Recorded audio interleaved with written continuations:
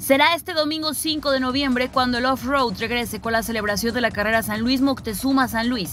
La salida y meta será en la carretera al aeropuerto en el kilómetro 3.5 y el arranque será a las 11 horas. Ya varios pilotos se encuentran listos para tomar parte en esta carrera en donde el reto será el desierto potosino con una distancia de 150 kilómetros. La competencia es solo para pilotos con gran experiencia por lo difícil y complicado de los terrenos por donde tienen que pasar para lograr cumplir autos y tripulantes con los 150 kilómetros, pasando por lugares como Estación Pinto, San Rafael, Bocas, Estación Enramada y toma rumbo a Moctezuma, pasando por San José, Luis H. y el Blanco rumbo a la meta.